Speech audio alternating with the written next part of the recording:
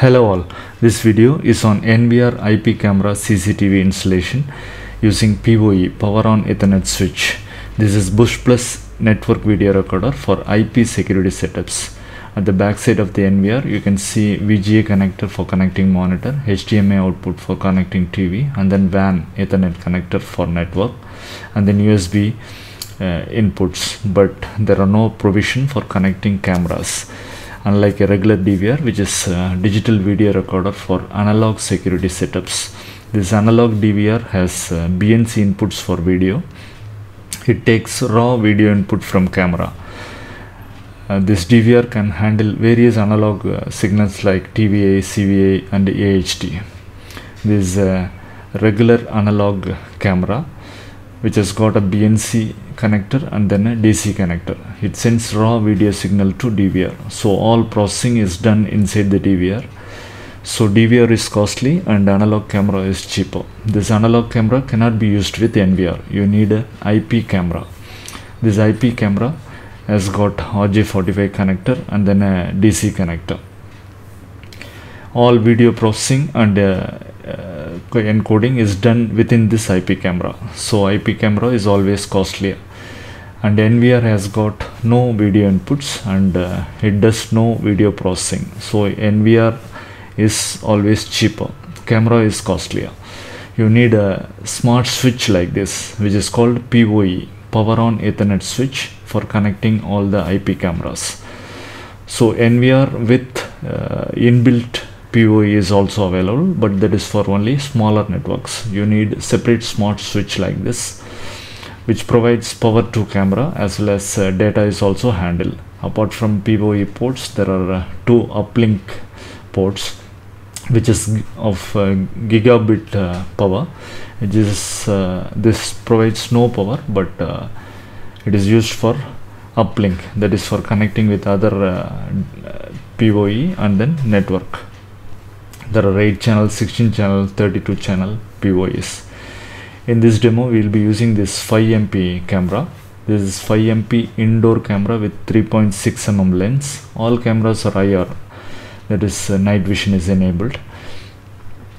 And uh, audio is also enabled. So unlike analog cameras you need not provide any uh, extra circuitry for uh, audio input. Audio input is built in these IP cameras have RJ45 connector as well as a DC connector for DC input.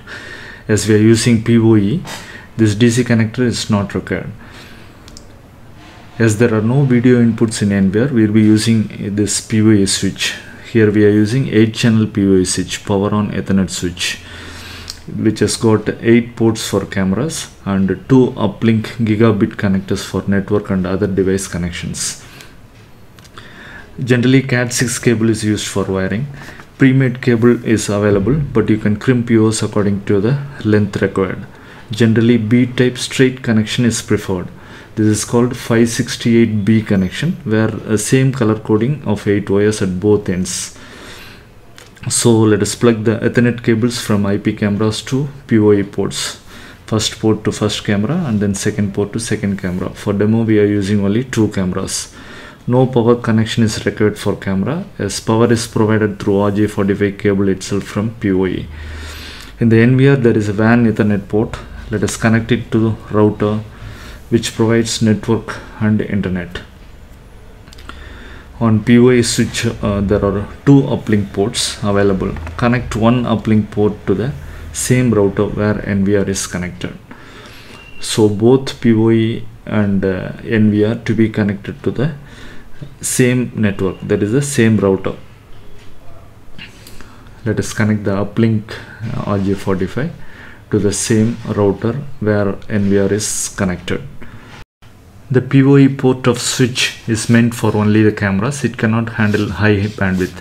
That is why they have provided a separate uplink connector for handling gigabit uh, bandwidth. The PoE is generally AC powered and uh, NVR is DC powered. Let us review the connection once again. All cameras, that is IP cameras, are connected to the PoE ports of this PoE switch. And then the uplink of PoE is connected to the network router. As the uplink connector can handle gigabit uh, bandwidth it is connected to the router. Do not connect PoE port to router and then the WAN of the NVR is connected to the same network router. So this is for a single PoE connection. Suppose the network is large you can use a second PoE switch so that cabling becomes much easier. For example uh, in a building first floor you need 8 more cameras.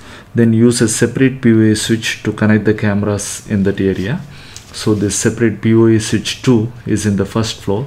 You connect all the cameras in the first floor to the PoE switch second PoE switch and then connect the uplink of the PoE 2 to the uplink of PoE 1 so only a single cable is required from first floor to ground floor.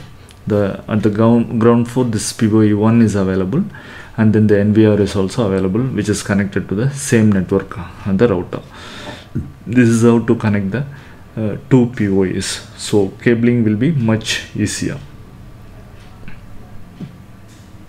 This is a 16 channel uh, uh, PoE switch and uh, 8 channel PoE switch. For demo we are just showing this uh, 16 channel which is uh, placed in the first floor of the building where all the cameras are connected. And then the uplink of the first PoE is connected to the uplink of the second PoE and then the first PoE's uh, uh, uplink is also connected to the network router.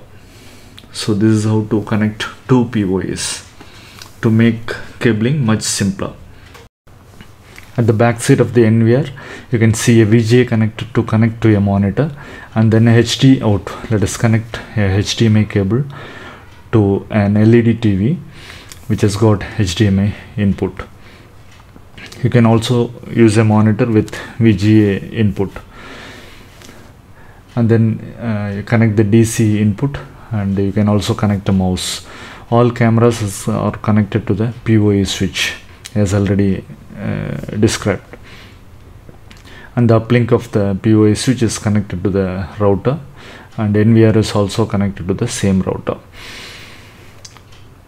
now let us switch on the NVR it says uh, no available storage as we are not connected the hard disk. Let us open the NVR switch off and then open the NVR this NVR has got a simple circuit. As all processing is done by the IP camera itself the NVR board is very simple. Uh, HDD hard disk always use purple hard disk. 1 TB up to 4 TB is supported there is a HDD power connector and then SATA connector. Connect the uh, power connector first and then the SATA connector and then fix the hard disk using the screws provided and then close the casing and boot up again. Now right click and then go to main menu. Under main menu there is a green bar which is uh, date time first set the date time uh, now it is uh, our area is UTC plus 5.30 so I'm selecting that and then setting the time. Next is the system display.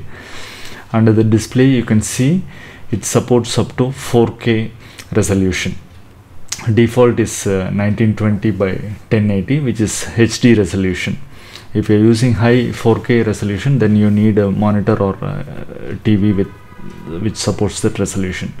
Next go to system and then account and then provide a strong password. As it is a network uh, video recorder you need a very strong uh, password to uh, for safety purpose. And uh, finally under the advanced uh, tab you click on HDD info here you can format the hard disk. As soon as you connect the hard disk you have to format it first. And then under advanced digital you can set up the IP uh, address of the cameras. That we will see later. Here you can see the uh, cameras connected also which are all cameras connected. We have connected only two cameras next main thing is to set the IP address of NVR and IP cameras. For that you have to find out the gateway of the network.